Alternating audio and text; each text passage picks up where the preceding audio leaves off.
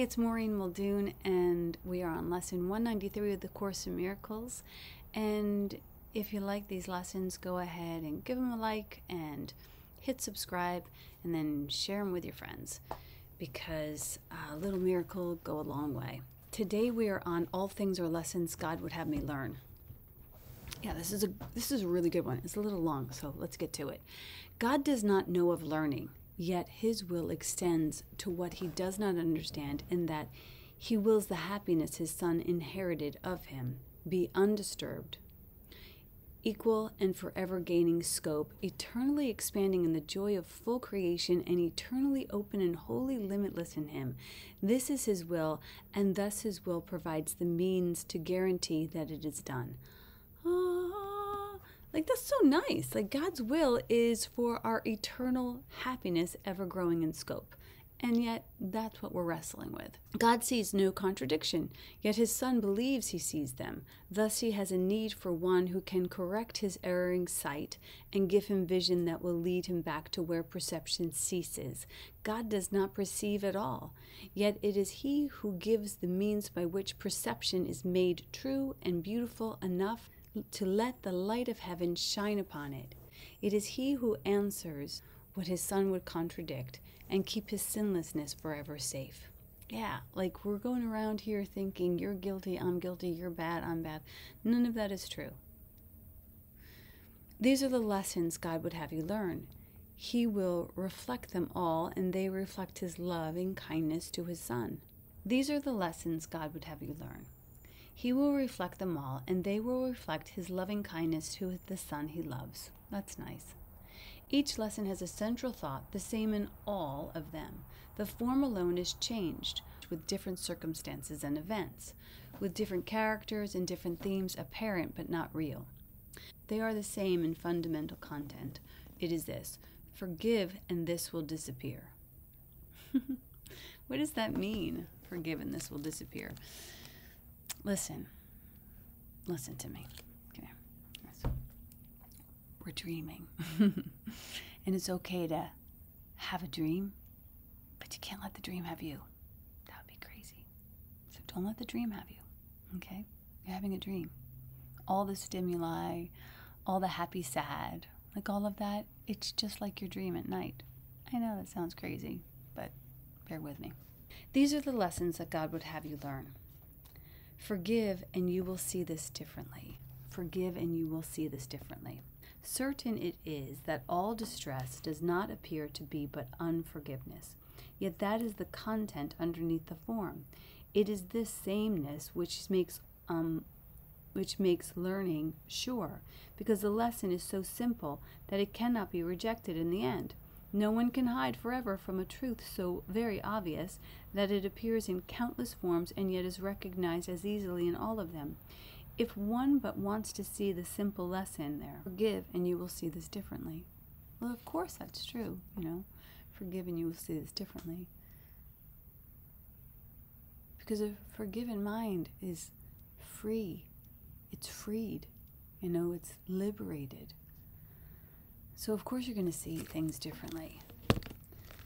These are the words the Holy Spirit speaks in all your tribulations, all your pain, all suffering, regardless of its form. These are the words with which temptation ends and guilt abandoned is is revered no more.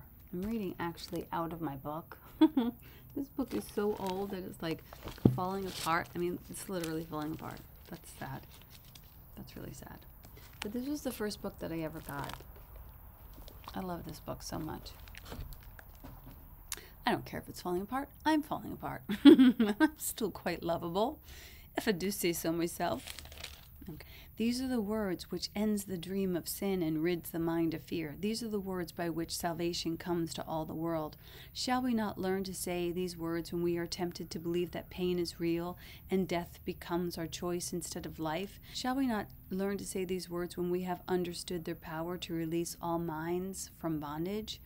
These are the words which give you power over all events that seem to have been given power over you. You see them rightly when you hold these words in full awareness. Do not forget these words apply to everything you see or any brother who looks upon amiss. I will forgive and this will disappear. How can you tell when you are seeing wrong or someone is failing to perceive the lesson he should learn? Does pain seem real in the perception? If it does, be sure the lesson is not learned, and there remains an unforgiveness hidden in the mind that sees the pain through eyes the mind directs. So, a lot of people say, I don't know if a lot of people say this, but uh, I've heard this acronym for pain P A I N, pay attention inward now. And that all pain is just a, a, little alarm clock going off in the body that's like, hey, you might want to pay attention to the situation. Form follows consciousness. Your consciousness has a glitch in the system and it's out picturing lumps and bumps and pains. And, you know, you just want to take that as an invitation, not an annihilation. You know, you say, okay, so this pain has some purpose to it. Let me ask it what it is. And I think we did that two lessons ago. And you can do it again today. God would not have you suffer. He would help you forgive yourself. His son does not remember who he is, and God would have him not forget his love and all the gifts his love brings with it. Would you now renounce your own salvation? Would you fail to learn the simple lesson heaven's teacher sets before you, that all pain may disappear and God may be remembered to his son? Yes. Like don't you don't you want that? Because if you if you have that, then you can extend it to everyone. I would love if you had questions about this because it warrants questions. In fact, one that comes to my mind is like pain. I don't have to experience pain. I once suffered from migraines and they were terrible. This is my experience that I'm sharing with you, so take it for what it, what, what it is. And I just decided to feel the pain. And I went to my bed and I just laid down and I decided to just be with the pain. I just decided to be with the pain and I just laid there. And I laid there and I felt the pain. I had never done that before.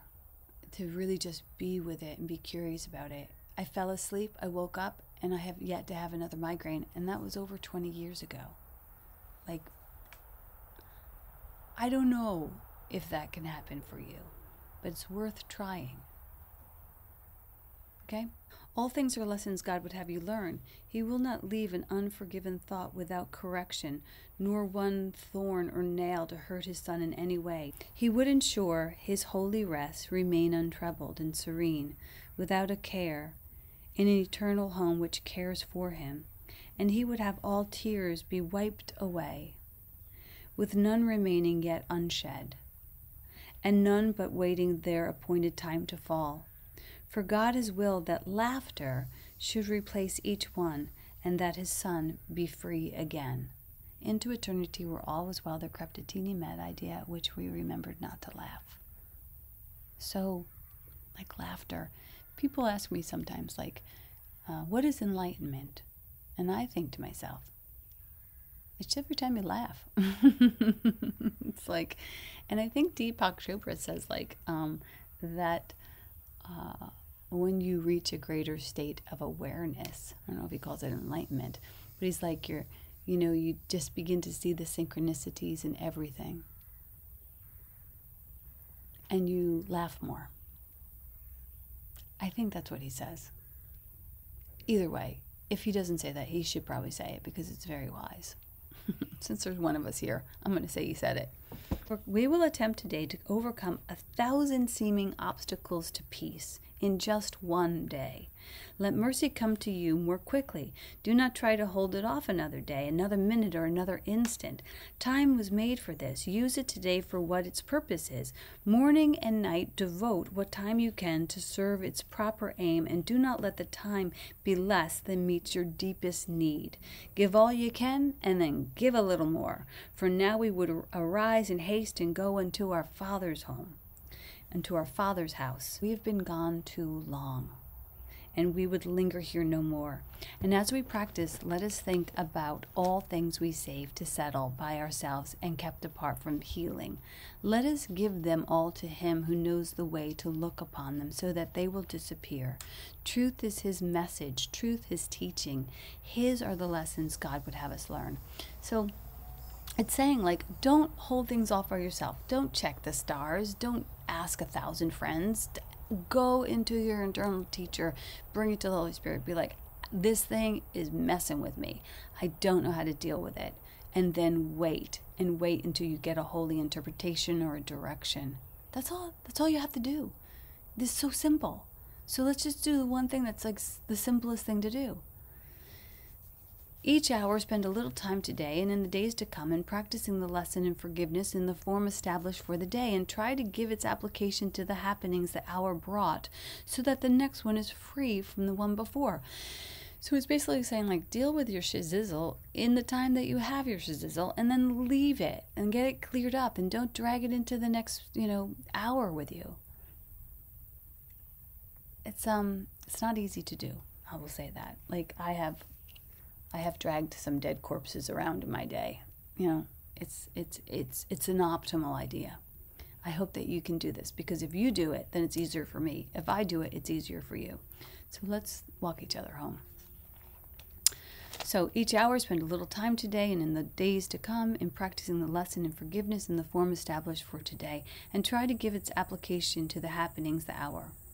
The chains of time are easily unloosened in this way.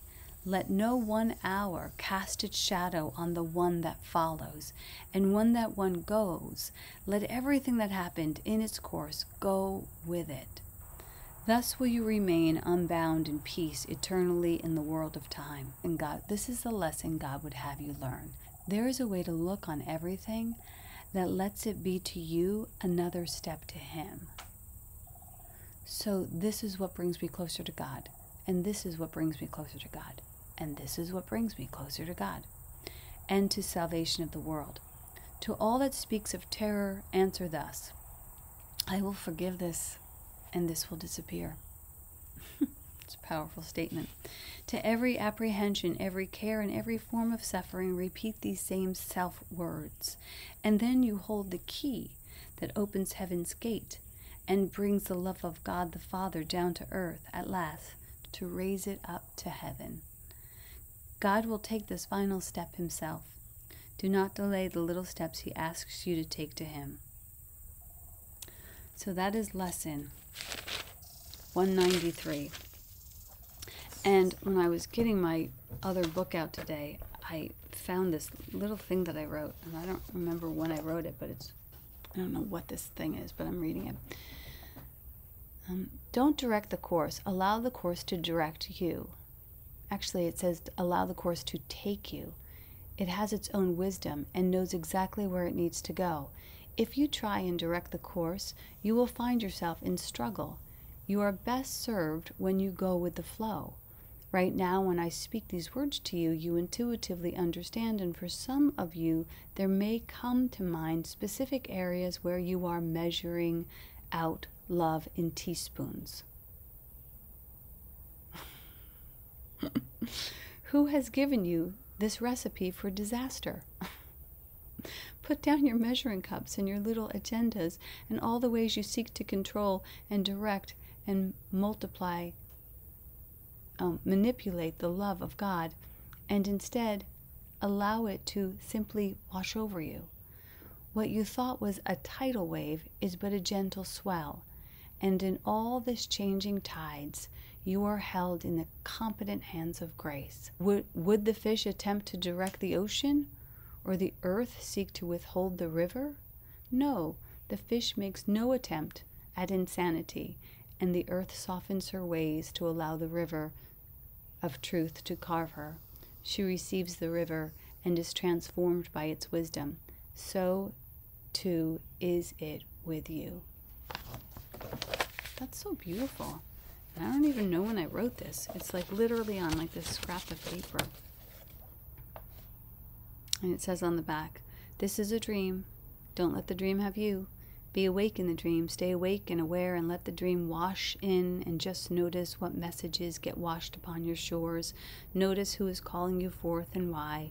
You are now looking to you are not looking to get anything, but let the Holy Spirit use you. Notice what lessons are being sought through you. That's doggone gorgeous. So I do hope it was helpful. And I will see you tomorrow for lesson 194. Hello.